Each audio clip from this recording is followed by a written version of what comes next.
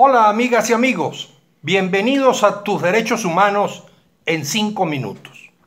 Los trabajadores de INLACA, empresa láctea con más de 70 años de tradición en el mercado venezolano, la que produce, según me han señalado, la leche Mamá Carabobo, nos han contactado para hacer uso de esta tribuna, para hacer unas denuncias y yo por supuesto con mucho gusto se las ofrezco.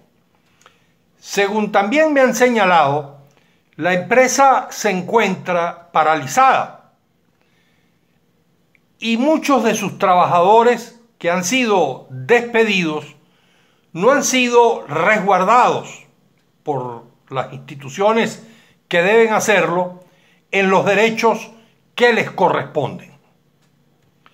Según se informó en 2019, Mirona Food, una empresa de los Emiratos Árabes Unidos, anunció la adquisición de esa corporación Inlaca que era subsidiaria de la neozelandesa Fonterra en Venezuela. Imagino que sus dificultades económicas son aquellas por las que ha pasado el país luego de la destrucción, literal destrucción del aparato productivo nacional durante la primera década del siglo XXI. La solución, si una empresa entra en crisis, nunca será como se pensó en aquellos eh, años, de principios de este siglo y como se hacía entonces por parte del gobierno de Chávez en su estatización.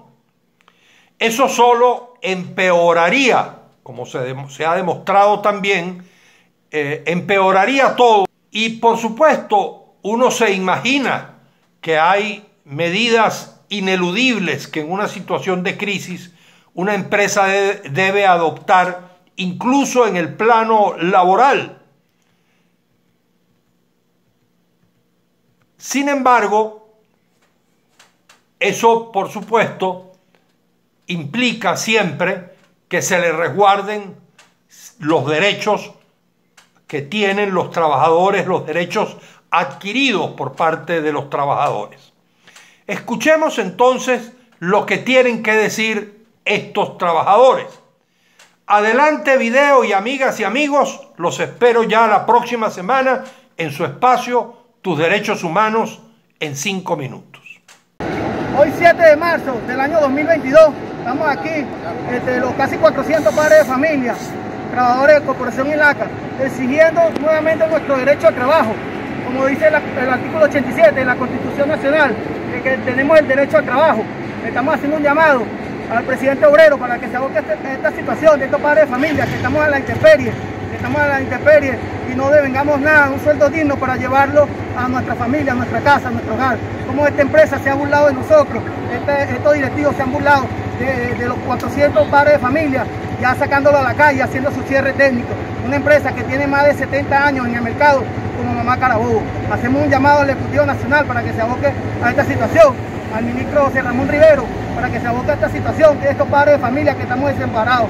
Este, hacemos un llamado, nuevamente queremos el derecho al trabajo, artículo 87 de la Constitución, queremos trabajar, queremos trabajar,